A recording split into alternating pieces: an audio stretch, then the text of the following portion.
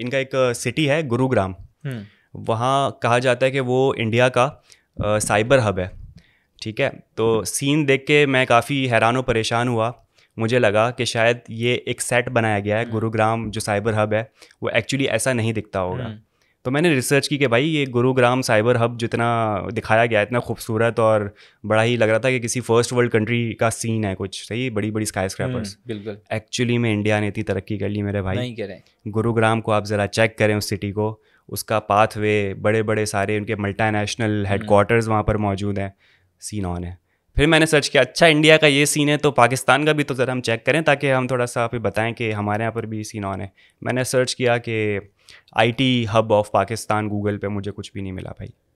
एक गली नहीं है पुल की जिसमें तार बड़े नहीं मुझे ज़्यादा से ज़्यादा जो मिला ना मुझे मिला आरफा करीम ट्रेड सेंटर या आरफा करीम जो भी जगह है जो बनाई गई थी लाहौर के अंदर स्काई स्क्रैपर बनाया।